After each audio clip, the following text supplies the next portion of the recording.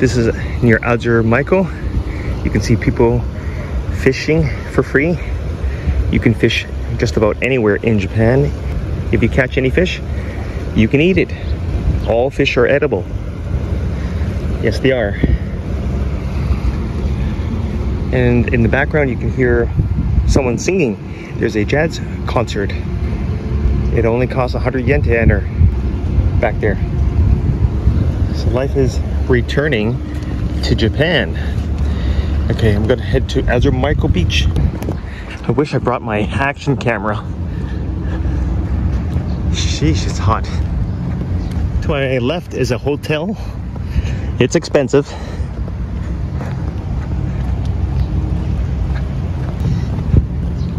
The great thing about living in Japan is that you can find vending machines everywhere. Look at that. Water for 110 yen.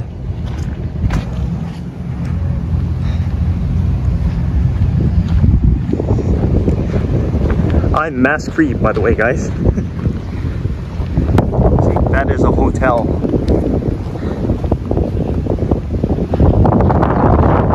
Newlyweds over there.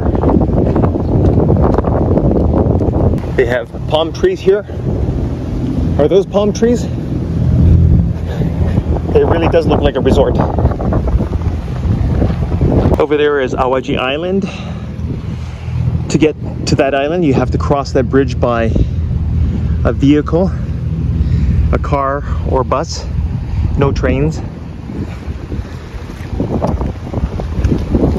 It's possible to get there by ferry. There is a ferry dock way in Akashi. Way down there is Akashi City.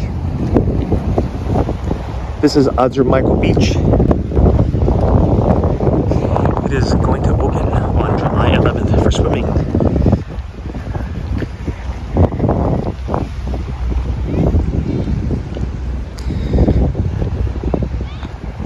Rock climbing. I guess that's for kids. It's too small.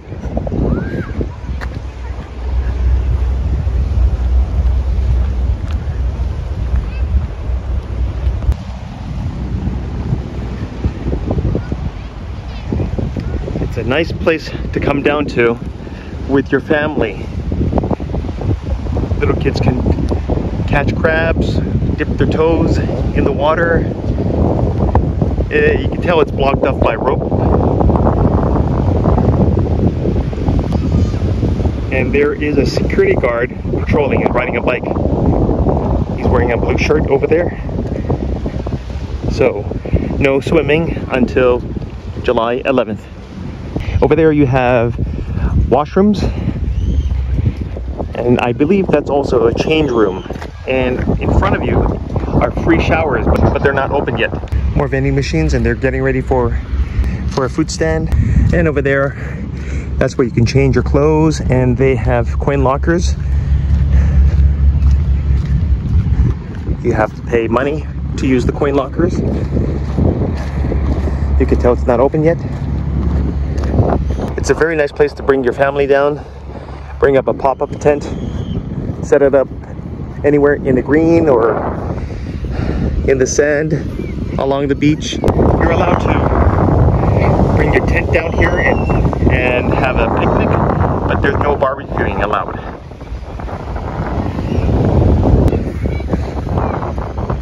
Ooh, hot babe. Look at that puppy. it's cute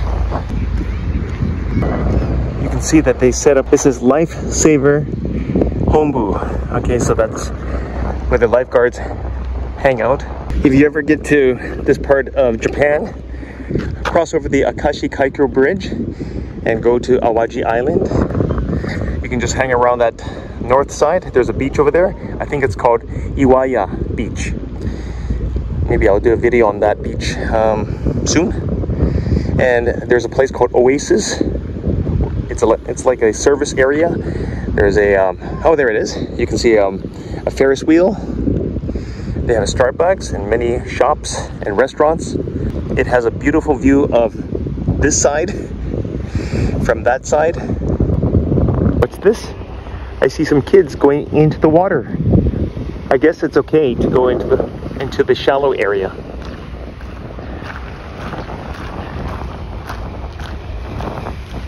You see that sign? It says no fireworks allowed.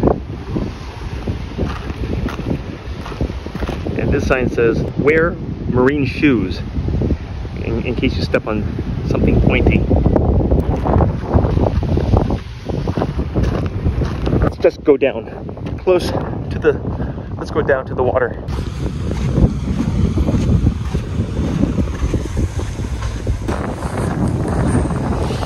Beautiful, absolutely beautiful. That buoy says chewy, careful. So that means you can go into the water up to that point, up to those blue buoys. The water is deep. So in the distance, you can see people, they look like kids in the water. It's a fantastic day to go in. I'd jump in right now, but nah, it's not hot enough. Okay guys, that is it for this video. Thanks for watching.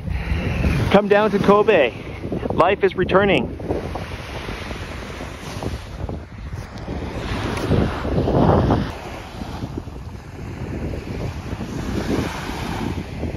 Life is returning. Okay guys, that is it for this video. Thanks for watching.